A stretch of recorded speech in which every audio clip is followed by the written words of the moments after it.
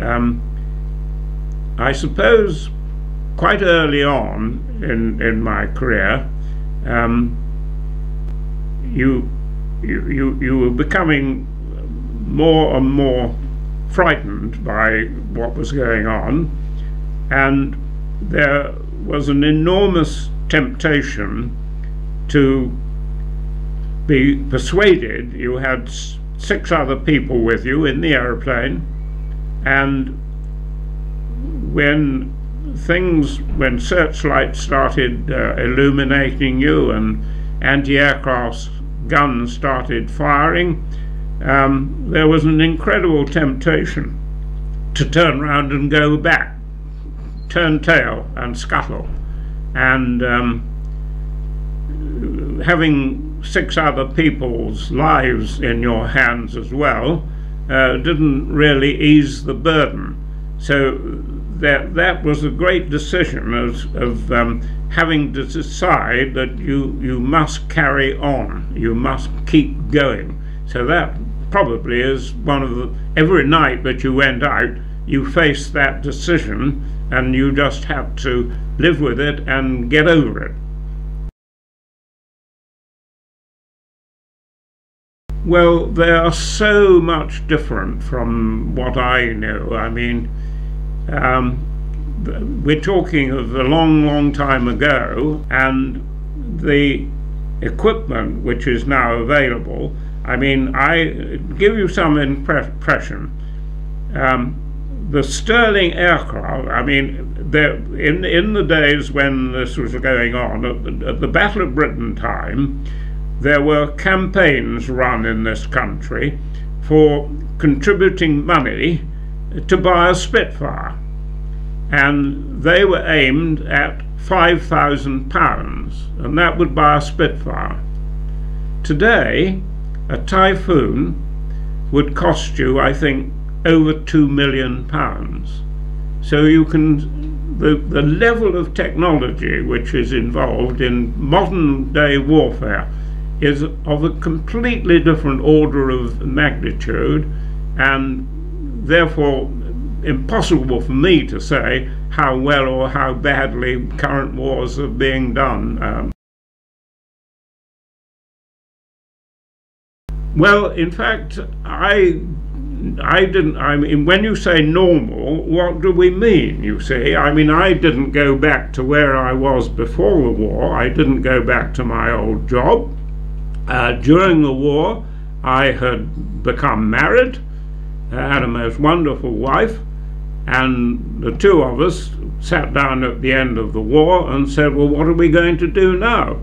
And my wife very wisely said, Well, there's only one thing you know what to do, and that's to fly. So why don't you stay in the Royal Air Force?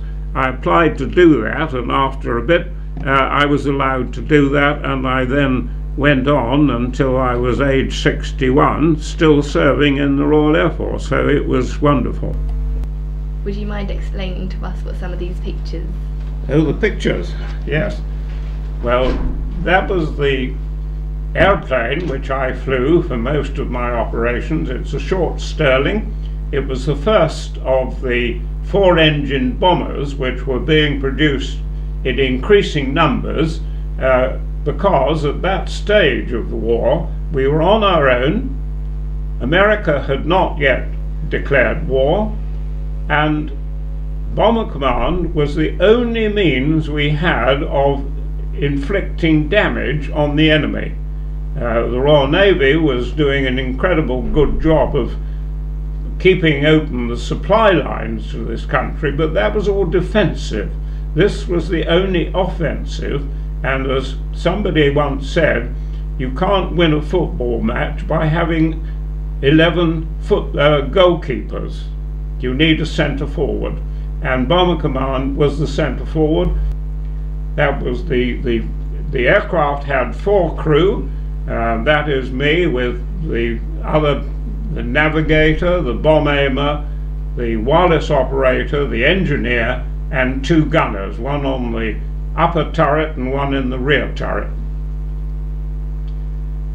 The heating arrangements in the aircraft were extremely crude and elementary So you had to wrap up pretty well, and this, in fact, was the first attempt at what was called an electrically heated suit. I'm afraid it didn't work very well.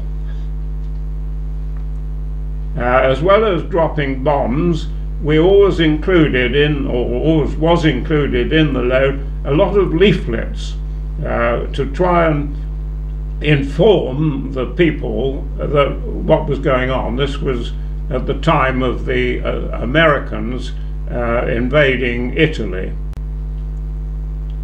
Um, another one of the leaflets, a, a, a, play on a, a, typical Ameri- a German magazine equivalent of Punch. Um, one didn't um, always get away scot-free on these raids with the fighters and the flak. That was the end of one sortie I flew where we had been attacked by fighters and unfortunately damaged the aircraft to such an extent that we ended up in the side of a half built hangar back at home. Uh, after the war, we went round, um, we were allowed to fly over Germany to see the effect of the bombing. Uh, it was really very terrible indeed. That is Cologne Cathedral, obviously, in the midst of a vast area of devastation. Thank you.